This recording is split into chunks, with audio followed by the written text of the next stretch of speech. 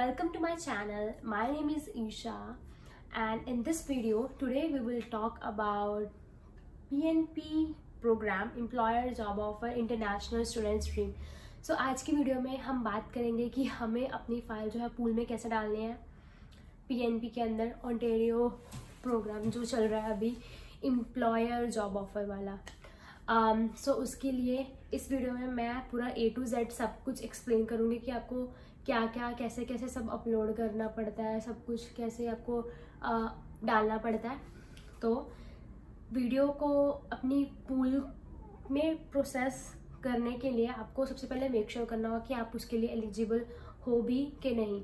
उसके लिए भी मैं वो पूरा स्टार्टिंग से करूँगी कि उसमें मैं बताऊँगी आपके साथ डिस्कस करूँगी कौन कौन सी रिक्वायरमेंट्स हैं जो आपको आ, करनी चाहिए। रफली अगर मैं आपको बताऊँ तो आपके पास एक परमानेंट जॉब होनी चाहिए उसका कोई कॉन्ट्रैक्ट नहीं होना चाहिए आप ग्रेजुएटेड होने चाहिए हो। एंड uh, जैसे कि फॉर एग्जांपल आप ग्रेजुएट हुए 2019 में फॉर एग्जांपल राइट तो आपके पास उसके बाद दो साल होते हैं तो आप अपनी फ़ाइल 2021 सेम डे तक लगा सकते हो जिस दिन आप ग्रेजुएट हुए हो उसके सेम डे उसके दो साल बाद तक लगा सकते हो। एंड आपके पास जितना एक्सपीरियंस होता है, उतने ज़्यादा पॉइंट्स बनते हैं। जितने आपके अच्छे आइल्स के स्कोर बैंड्स होते हैं, उतने ज़्यादा पॉइंट्स बनते हैं।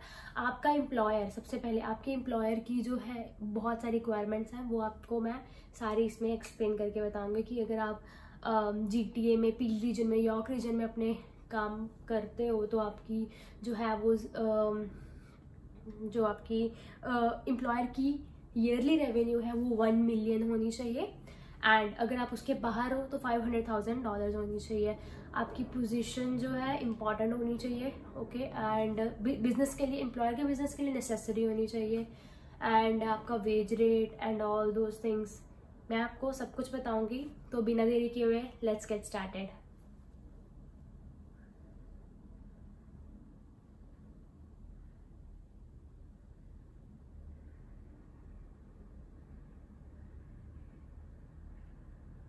तो मैं इसके लिए सबसे शुरुआत से स्टार्ट करने वाली हूँ, सब कुछ रिक्वायरमेंट से स्टार्ट करते हैं। तो इसका नाम है employer job offer international student stream and उसके बाद हम नीचे ओवरव्यू लेंगे कि ये स्ट्रीम है, किन लोगों के लिए है एंड ऑल दॉट उसके बाद नीचे जाना है कि मेक श्योर sure कि आप अपनी जो रिक्वायरमेंट्स हैं, वो आप मीट कर रहे हो, इसको अप्लाई करने से पहले।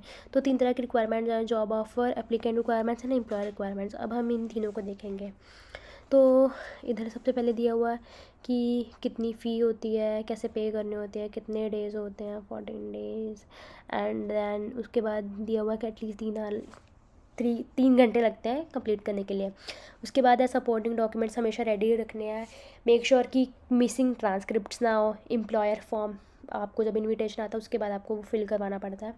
वो मिसिंग ना हो और सिग्नेचर जो है जॉब ऑफ़र पे वो मिसिंग ना हो आपके या और आपके एम्प्लॉयर के। उसके बाद आ रहा है नीचे कि जॉब ऑफ़र रिक्वायरमेंट्स तो इसमें जॉब ऑफ़र की जो रिक्वायरमेंट्स हैं, वो क्या क्या होनी चाहिए? तो जॉब ऑफ़र की जो रिक्वायरमेंट्स हैं, वो ऐसे हैं कि आप एक तो पहली बात है फुल टाइम होने चाहिए और परमानेंट होने चाहिए। फुल टाइम मतलब आपको इतने घंटे मिलने चाहिए, साल के फिफ्टीन सिक्सटी और at least thirty per week मिलने चाहिए। और कॉन्ट्रैक्ट नहीं होना चाहिए किसी तरह का, या सीजनल नहीं होने चाहिए। एलिजिबल ऑक्यूपेशन कौन सी है? नॉक कोड ए बी या ओ ये तीन नॉक कोड है इसमें और लो वेज की आपकी जो, आपकी लो वेज नहीं होनी चाहिए okay and position is urgently necessary to employer's business तो आपकी जो पोजीशन है वो इंपॉर्टेंट होनी चाहिए और अर्जेंट होनी चाहिए आप, आपके एम्प्लॉयर के बिज़नेस के लिए. Work based in Ontario obviously आपका जो काम है वो ऑन्टेरियो में होना चाहिए.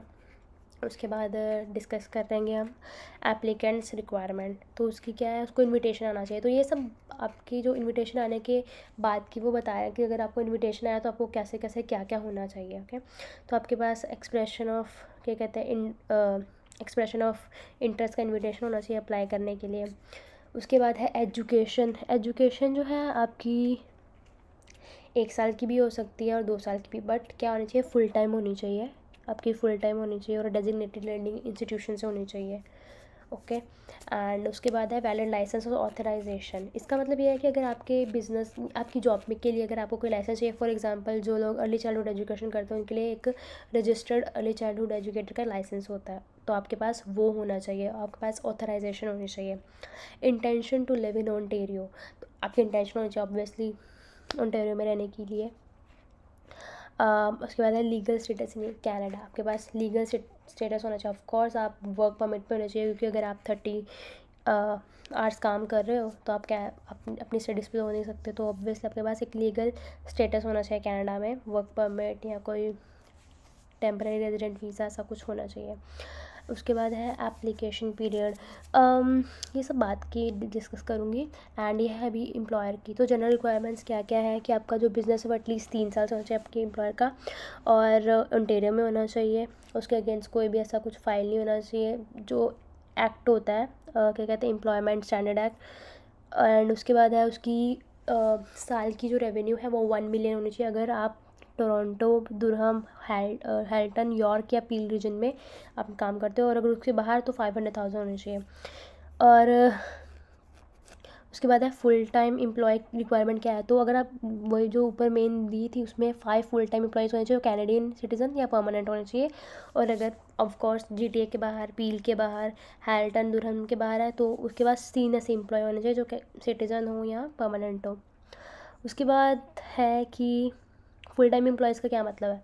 वो सब लोग भी तीस घंटे काम करने चाहिए पर वीक में एम्प्लॉयर फॉर्म एम्प्लॉयर फॉर्म आपको बाद में साइन करवाना जब आपको इन्विटेशन आता है तो सपोर्टिंग डॉक्यूमेंट्स आपके पास आपको जो जो डॉक्यूमेंट्स चाहिए वो आपसे बाद में भी मांग सकते हैं and then cost to apply fifteen hundred लगेंगे.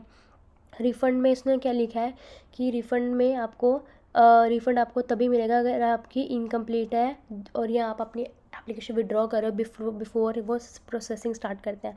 पर अगर आपकी प्रोफ़ाइल एलिजिबल नहीं है तभी भी आप लगाइए या ऐसा कुछ है तो अनसक्सेसफुल मानी जा रही है तो फिर आपको नहीं मिलेंगे आपके पैसे वापस। रिप्रेजेंटेटिव का ये है, है तो एंड उसके बाद है सबमिट एन एप्लीकेशन अगर आपकी पर्सनल इन्फॉर्मेशन चेंज हो गई है कुछ भी तो आपको कि ये फॉर्म फिल करना है देन इस मेल पे सेंड करना है। And then if you are nominated तो इधर सारी आपको इन्फॉर्मेशन दी है। आपको बस नीचे जाके ये सब एक बार पढ़ लेना। Um, बाकी सारे कॉलेजेस दिए हैं कि कौन कौन से कॉलेजेस एलिजिबल हैं। तो इधर सारे अल्फ़ाबेटिकली ऑर्डर में दिए हुए हैं। तो ये सारे कॉलेजेस जो जो एलिजिबल हैं जहाँ से आप एलिजिबल हो। एंड uh, तो इधर एक एग्ज़ाम्पल भी थी कि अगर आपने आप सिर्फ़ अपनी एजुकेशन के दो कंप्लीट कंप्लीट होने के दो साल बाद तक इस में फ़ाइल लगा सकते हो, जो मैंने आपको अभी अभी एग्जांपल दी थी पहले। एंड तो अभी हम स्टार्ट करेंगे। तो गए हम पोर्टल पे O I N P e filing के पोर्टल पे, उसके बाद हमने ये तीन ऑप्शन मिलते हैं। Returning user new applicant new representative तो ये रिप्रेजेंटेटिव के लिए है। ये न्यू एप्लीकेंट के लिए। तो आप न्यू एप्लीकेंट हो तो आप इधर क्लिक करोगे आपके पास ये सारे ऑप्शन आ गए। कौन कौन कौन सी पी में लगा रहे हो ये सारे आ गए। तो हम लगा रहे हैं एम्प्लॉयर जॉब ऑफ़र सेकेंड वाली में इंटरनेशनल स्टूडेंट्स में। क्लिक करेंगे। हम्म, तो यस एंड देन आपको अपना फ़र्स्ट नेम लास्ट नेम और डेट ऑफ़ बर्थ फिल करने तो मैं कोई भी रैंडम नेम यूज़ कर लूँगी किसी का भी। ओके? तो और डेट ऑफ़ बर्थ लिख देनी है, ठीक है? उसके बाद ये पेज खुलेगा, इधर आपको क्या करना है? ये खुला। तो इधर आपसे मांगते हैं वन की आईडी तो ये तो है नहीं तो उसके आप देखोगे कि लेफ़्ट साइड पे लिखा है साइन अप नाउ उधर आपने क्लिक करना है तो आपको कुछ नेक्स्ट पेज ऐसा खुलेगा, ये वाला। वेट साइन अप नाउ पे किया तो इधर आ गया आपका पास ये। तो इधर आपने अपनी आईडी चूज़ करनी है, और उधर आपको सारे इंस्ट्रक्शंस दिए हैं कि कैसे आपको कितने करेक्टर्स होने चाहिए। तो जैसे मेरा नाम ये है तो मैं ऐसा कुछ चूज़ कर लूँगी, और जो ये है अपना पासवर्ड भी एट टू सिक्सटीन कैरेक्टर्स होने चाहिए अपर एंड लोअर केस के लेटर्स होने चाहिए नंबर्स होने चाहिए सिम्बल्स होने चाहिए। तो ऐसा स्ट्रॉन्ग पासवर्ड आप पासवर्ड आपको याद रखना। है नीचे सारे सिक्योरिटी क्वेश्चन हैं सिक्योरिटी क्वेश्चन फिल करने और अपनी एक ईमेल रखनी है जहाँ अगर आप पासवर्ड भूलते हो तो रिकवरी कैसे करने हैं। आप नेक्स्ट किया एंड फ़ाइल हो गई और उसके बाद आपको ईमेल आ जाएगी, आपकी आईडी बन गई आपको वन की जो आईडी बन गई उसके बाद आपने लॉगिन किया। तो लास्ट नेम आपको लिखना है कुछ भी ऑलरेडी लिखा ही होगा।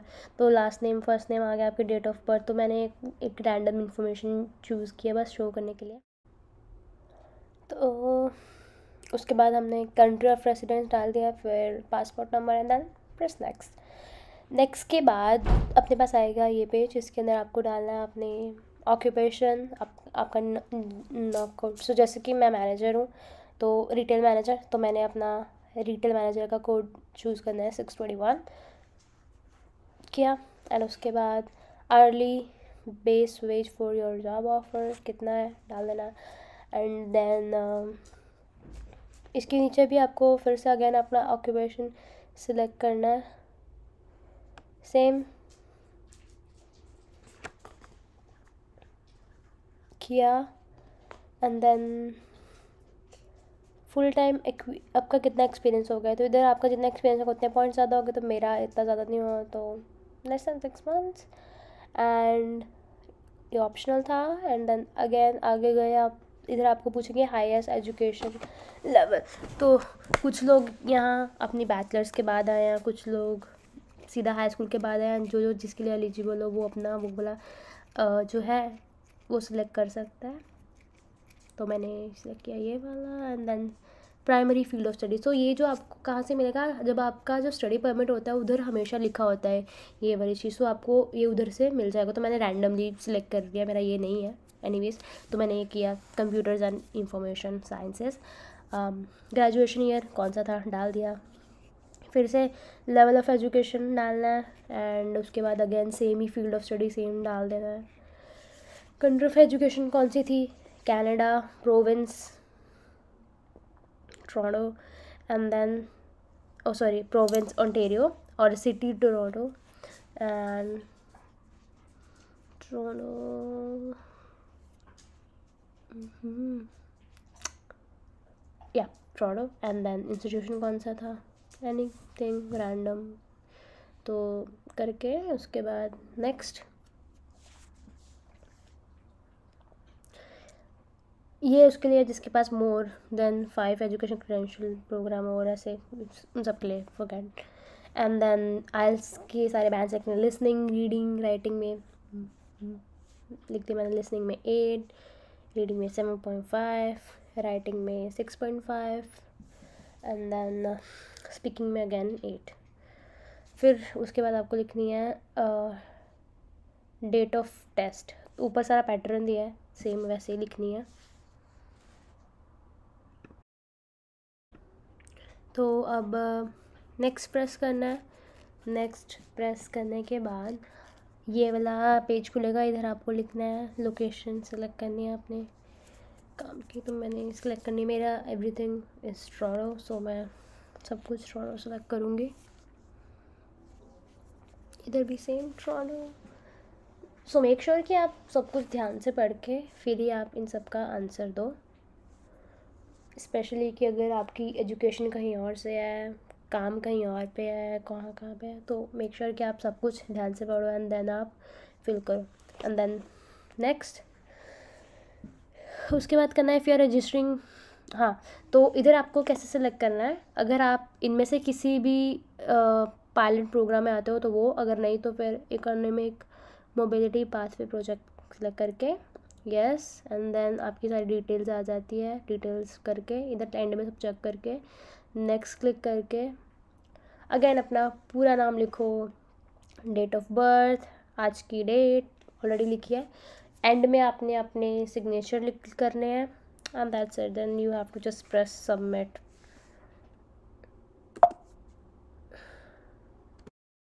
तो मैंने सर रैंडम इन्फॉर्मेशन डाल के um, सारी इन्फॉर्मेशन डाल के बस सबमिट पे क्लिक किया। तो ये आ गया आपका confirmation number finish and then आपको जो आपका मेन पेज है, उधर आपको ये दिखेगी पूरी आपकी कि कितने पॉइंट्स बन रहे हैं सो ये आपका फ़ाइल नंबर किस स्ट्रीम के अंडर लगाइए किस दिन लगाइए एंड आपके पूरे स्कोर कितने आपके स्कोर बन रहे हैं तो आपको ये ऐसा आ जाएगा। तो आप ऐसे लगा सकते हो, आप विड्रॉ भी कर सकते हो। अगर आपने T R to P R लगाई है तो आप एनी वे एनी टाइम आप विड्रॉ कर सकते हो। And that's it and it was easy अगर आपको कुछ भी मुश्किल लगे या आपको कुछ गलती लगे मेरी भी तो आप मेरे को ऑब्वियसली हमेशा बता सकते हो. But I think it was pretty easy I hope आपको ये वीडियो अच्छी लगी हो और आपको इसमें जो सारा प्रोसेस था ई um, में अपनी फ़ाइल डालने का एकदम आपको क्लियर था. और अगर आपको कोई भी कन्फ्यूज़न थी या कुछ भी मेरे से कोई गलती हुई हो इस वीडियो में अगर आपको कुछ भी मेरे को सजेशन देना हो या कुछ भी आप मेरे को कमेंट डाउन कर सकते हो. और आप मेरे को इंस्टाग्राम पे जो मैंने नीचे मेंशन किया है उधर आप मेरे को डीएम um, कर सकते हो। एंड ऑल्सो जो मैंने जहाँ जाके आप अपनी ये प्रोफ़ाइल और अपना अपनी आप अपने आपको रजिस्टर कर सकते हो ये आई में मैंने वो नीचे लिंक भी दे दिया है। तो जल्दी जल्दी जाओ जो जो भी लोग एलिजिबल हैं अपनी जल्दी से पीएनपी में फ़ाइल डालो। और जल्दी जल्दी पीआर हो जाओ भाई। And bye bye for today take care and see you soon